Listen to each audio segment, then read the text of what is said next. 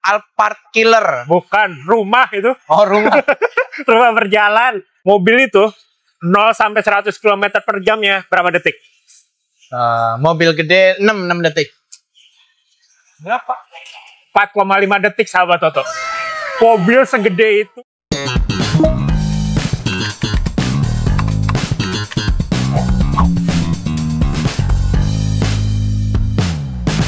Sahabat ya sahabat lagi ya. Halo sahabat Toto, balik lagi bersama kita, Ya. Deas dan Nabil di di mana ini? Dia di mana? Di Otopot, Oh, Topot. tapi Otopotnya Tempatnya- beda kali ini. Oh iya, biasanya kita ada di ruangan yang Iya. penuh etalase aksesoris.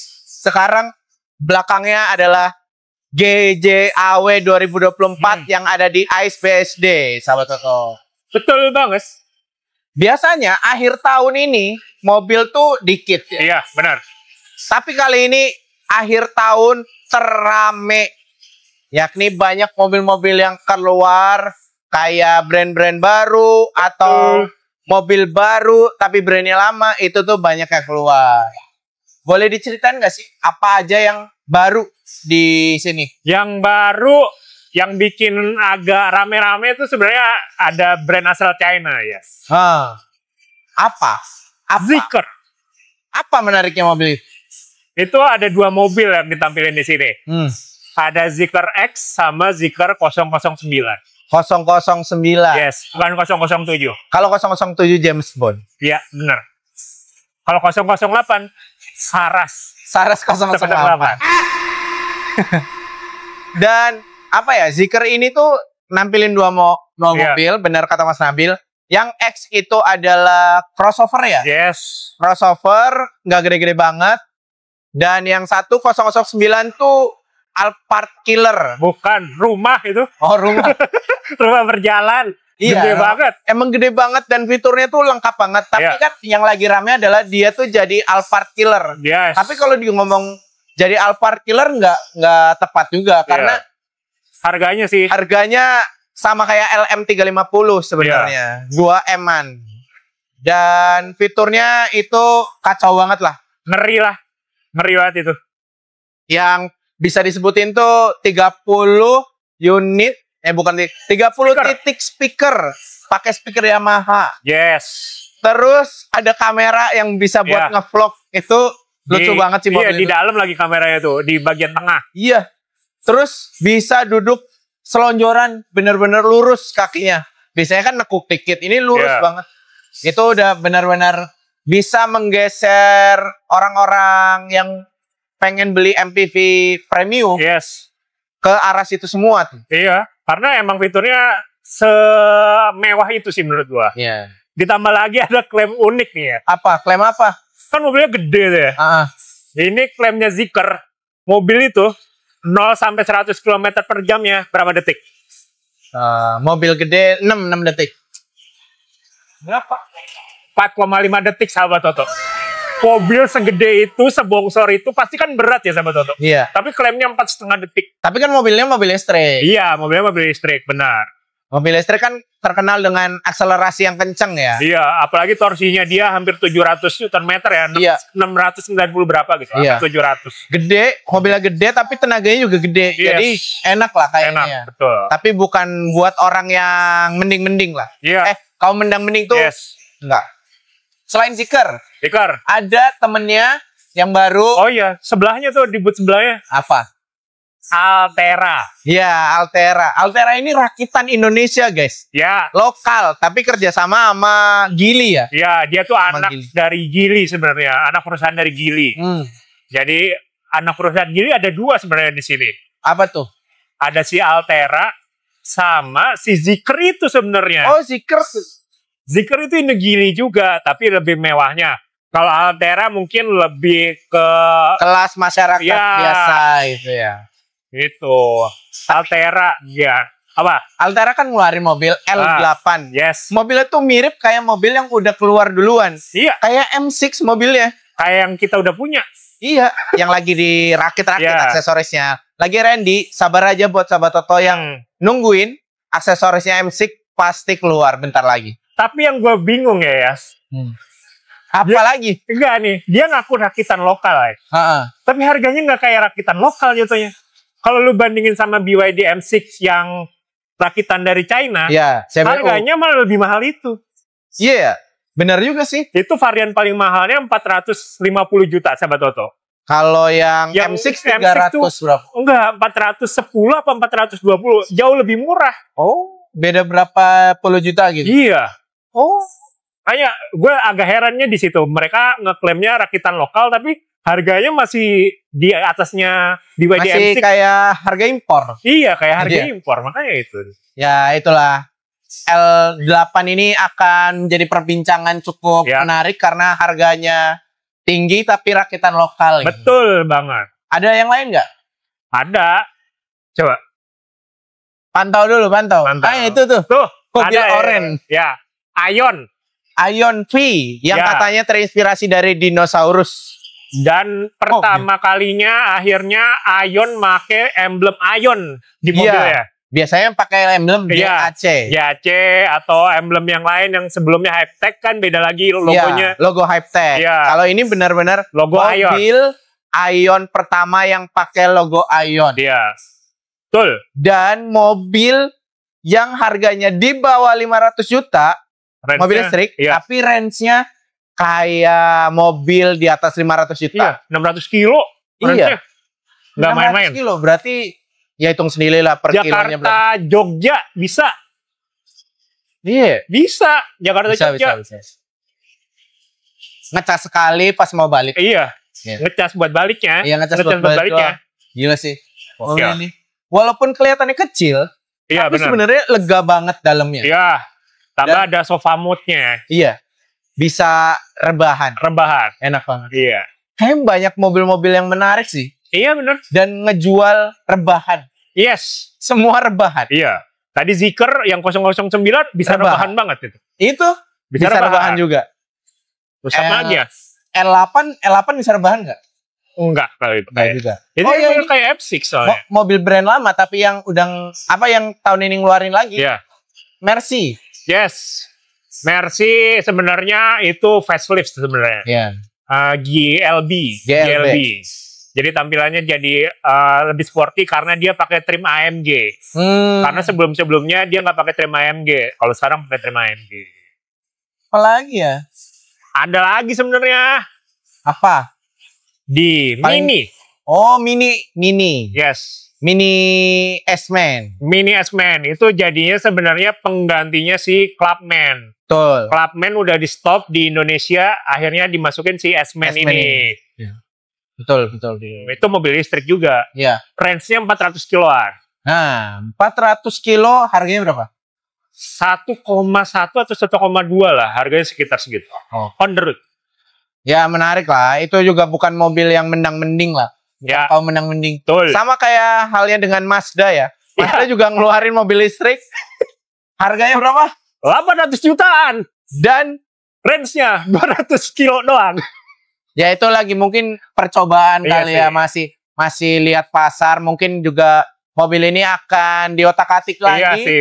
harganya atau range-nya yang diotak-atik. Tapi menurut gua itu terlalu overpriced sih menurut gua. Dengan range segitu tuh terlalu over. Marketnya yang mau disasar siapa? Marketnya yang suka warna merah Mazda. Oh iya sih benar. Dan juga eh, ngomong-ngomong soal merah di mobil eh di GJAW ini ada mobil merah yang belum bisa dijual tapi tahun depan akan dijual yaitu Ford Mustang. Ford balik lagi dengan beberapa varian Ya. mobil masuk ke Indonesia lewat RMA. RMA. Jadi ATPM baru, ATPN baru RMA ini pegang hak jual Ford. Ford. Ada Everest, Ada Ranger juga. ada Ranger, ada Mustang juga. Ya, Mustang yang udah dijual sekarang tuh Everest sama Ranger sama Hmm. Toto. Untuk si Mustangnya tahun depan rencananya. Iya. Itu menarik lah. Hmm, Baliknya Ford ke Indonesia tuh bikin persaingan mobil-mobil gede Ya. makin rame. betul. Nggak cuma Pajero, Ya, Hilux, ya Ah, Fortuner Fortuner. gitu-gitu. gitu-gitu doang. Ini ada si Ford. Balik lagi, makin rame. Terus apalagi ya? Cherry J6 sama Maxus. Oh iya, ada Cherry J6. Ya, itu sebenarnya branding, rebranding. Iya, karena kemarin pas Gias. Gias itu udah ngeluarin namanya Icar 03. ya iCar 03. iCar 03 ini yang ya di rebranding lah Ya. sebenarnya jadi J6 dan macam-macam ya lucu banget banyak banget modifan-modifan Hmm. menarik biar laku. Betul sekali. Harganya juga lumayan sih menurut gua. Iya. Di sekitar 400-an sama yang paling mahal tuh di 500-an lah Ah. harganya. Jadi menarik. Sama juga mau mention buat mobil-mobil yang ngeluarin varian tapi Hmm. sebenarnya udah ada mobilnya kayak Jimny, Ya, Jimny ada ngeluarin White Rhino. varian. Ya betul, warna white rhino. Terus ada apa lagi? Ada apa lagi? Lupa apa lagi? Apa lagi? Sebenarnya ada ini juga. Saingan Alphard sebenarnya lu lupa mention. Apa tuh? Maxus Oh iya. Maxus Mifa 9 dan Sembilan. Mifa 7. 7 ya. Jadi dia akhirnya launching harga di sini. Iya. Di si Maxus Mifa 9 tuh harganya 1,1-an. Hmm. Si Mifa 7-nya itu 700-an sekian lah. Hmm. Ya. Yang lucunya tapi ada ya. Mobil kembar. Iya, mobil kembar. Jadi cer- cerita nih sama Toto. Jadi bootnya Maxus tuh sama bootnya MG tuh sebelahan. Depan-depanan. Depan-depanan. Seberang-seberangan. Seberang-seberangan. Nah, si MG juga masang si Maxus. MG G90. Iya, MG G90 tapi sebenarnya itu Maxus. Iya, betul. Cuman dibedain dari sisi eh, tampilan luarnya aja tuh bagian depannya. Padahal itu sebenarnya ya Maxus. Iya, mobil sama. Tifa 9 sebenarnya. Tapi di rebranding ulang. Ya kayak Avanza Xenia gitulah. Ya, benar banget. Versi Chinese car-nya. Ya, betul. Tapi MPV ya, MPV, Yes, MPV. premium gitu. Mereka nge-brandingnya. Mm-mm. Ya mobil-mobil rebadge lah. Nggak heran juga di Indonesia udah banyak juga. Ya, Ada Avanza Xenia, Rocky Race, Hmm. apalagi. Gue taunya itu doang. ya banyak lah, banyak-banyak mobil rebadge juga. sama Apa lagi? Ini sama yang sebenarnya gua agak kaget. Akhirnya Toyota membawa mobil ini sebenarnya. Apa? Toyota Century sama Toyota Crown. Oh iya Century. Toyota Crown sama Toyota Mirai. Mirai. Biasanya Mira itu dibawa kalau ke pameran Indonesia, Iya. itu cuma dipotong Sepotong, doang, sepotong. Iya. Kalau ini benar-benar dibawa mobilnya utuh. Iya. Dan Crown juga akhirnya dipajang di Hmm. pameran. Walaupun kita nggak bisa masuk ya, Iya. cuma bisa lihat dari luarnya doang. Tapi itu ganteng banget sih mobil. Itu favorit sih. Eh ngomong-ngomong favorit, Iya. favorit lu GJAW sekarang apa? Zikr udah. Obat. 009. Zikr mau Zikr X 009 gak ada obat menurut gua. Iya. Zikr jadi mobil premium yang benar-benar premium, Iya. nggak dikurangin-kurangin. Iya. Dan harganya juga mereka nggak peduli. Iya. Pokoknya harga gue segini, lu mau beli terserah. Hmm, Enggak juga terserah. betul. Keren sih. Keren. Brand baru masuk Indonesia langsung nancepin diri bahwa Iya, langsung dia apa ya ngasih kelasnya tuh wah yang high banget gitu Ah, kelasnya. Nggak main-main sih menurut gua. Betul. Biasanya kan mobil China yang di Ya. Indonesia masuk tuh Tes pasar dulu kan. ya early, Iya, iya. mid range gitu. Kalau ini langsung Top. paling atas. Iya, langsung top of the line-nya Iya. langsung diajar. Nggak peduli. Oh iya. Kalau gua Kalau apa? Crown sih. Selain Zikr ya, Zikr gua Iya. udah setuju tapi karena udah disebut gua suka banget sama Crown. Mobil itu terlalu ganteng buat dilihat Iya. kayak silau gitu. Nggak ada lawan, boy, nggak ada lawan. Di sini semua kalah. Mungkin karena gua penggemar mobil Jepang kali ya. Ya. Jadi Crown tuh mantep banget. Dan buat kalian yang mau datang ke GJAW, datang aja karena acara ini tanggal 22 November sampai 1 Desember kalian bisa langsung aja datang ke GJAW Iya. 2024 yang ada di mana? Di ISBSD Hall 5 sampai Hall 10. biar di biar sahabat Oto bisa lihat langsung mobil-mobil yang kita sebutin tadi. Betul. Kalau disebutin tadi cuma sekilas-sekilas Iya. foto. Kalau ini langsung, Langsung aja nyobain, lihat pegang-pegang. Pegang-pegang nyobain juga bisa di sini. Iya. Nah itu dia macam-macam Ya. banyak. Kalian pokoknya rasain sendirilah. Dan cukup sekian Ya. kali ini kita mau jalan-jalan lagi, mau cuci mata lagi, ngelihat SP, maksudnya ngelihat mobil ya. Nah ya. Ya, nanti dimarahin ya istri ketiganya ya. Astagfirullahaladzim. Nah, ya udah. Cukup sekian video kali ini. Jangan lupa kalian like, komen, dan share video ini. Dan juga kalian bisa main ke Sosial Ke mana? media kita di Instagram, TikTok, at Project. Nah, itu dia. Kalau kalian lagi cari aksesoris, kalau kalian lagi cari aksesoris untuk mobil kalian, kalian bisa langsung aja datengin uh, toko aksesoris terdekat di kota kalian. Yang cari aja aksesoris Auto Project apa aja, banyak banget. Atau kalian yang kotanya udah ada Auto Project Garage, kalian bisa langsung aja datang ke Auto Project Garage. Atau kalian pengen belanja online, kalian bisa lihat di katalog-katalog e-commerce kita ada di Tokopedia, Shopee, dan Blibli.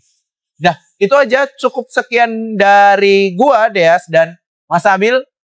Auto Project bikin mobil auto keren.